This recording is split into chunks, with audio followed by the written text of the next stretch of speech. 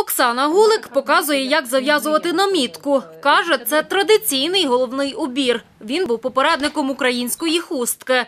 Перші згадки про намітку, розповідає жінка, були в 11 столітті.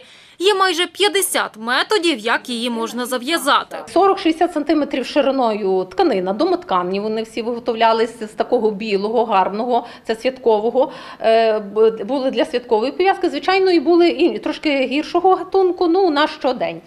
Е, Довжина її була 4-5 метрів. Вікторія Безбах каже, намітки зав'язувати не пробувала, але українську хустку на свята одягає. У мене є вдома хустка, яка залишилася мені від бабусі. О, я її дуже сильно бережу, бо ну, це рідне, це наше. О, і відповідно, от е, є на свято Міжнародний день хустки, і в цей день я завжди собі пов'язую на голову хустку або просто накидаю на плечі. А так носили хустку на Поліссі. Її зав'язували корабликом, каже Оксана Гулик. Хустка складається з таких е, орнаментів різнокольорових, е, бо наші українки вони так трошки хитрували. Вони могли один той самий орнамент дати на одну сторону, інший орнамент на іншу. І коли хустку раз складаєш орнамент один, виходить на другий раз сторони міняєш інші. І вже сусідка думала, от так, вона вже має дві гарні хустки, а то була взагалі одна хустина. Антоніна Баран, яка також працює в музеї, розповідає, в її рідному селі на Хмельниччині українську хустку використовують для прощання з померлими.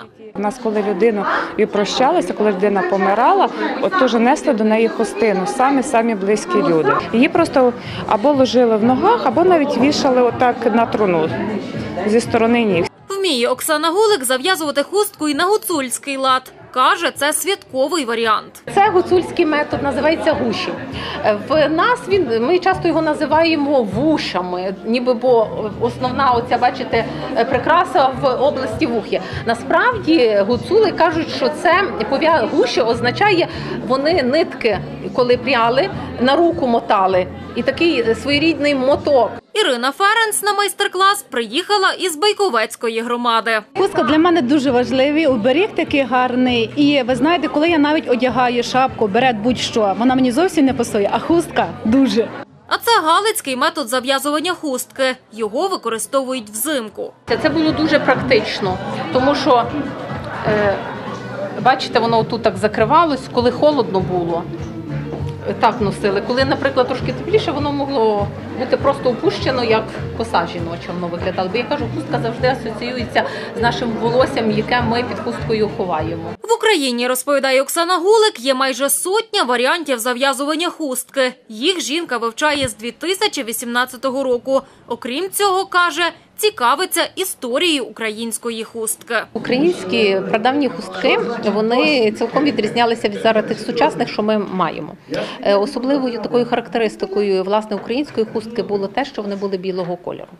Вони, звичайно, були квадратні, виготовлялись з домотканого полотна, орнаментовані були геометричними взорами. Е, Таку е, хустку вона була надійним оберегом.